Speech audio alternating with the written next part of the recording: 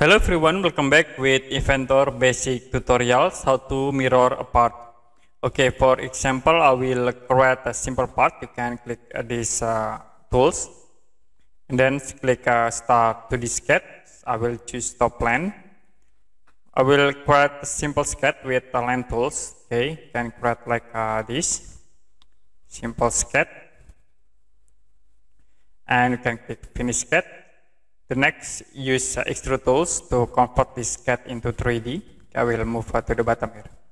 Click OK. The next, if you want to mirror this part, you can use mirror tools. You can click these icons, mirror. Like for feature, you can click this feature. And for mirror planes, like you can select this face, it will be mirror, or you can click again the other face, like in here.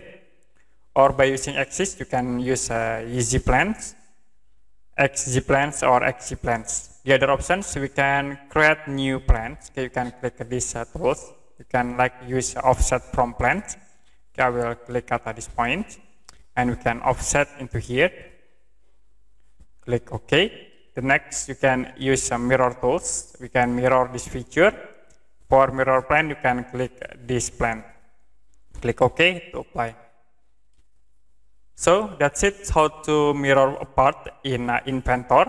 And if you have any question about this tutorial, you can comment below this video.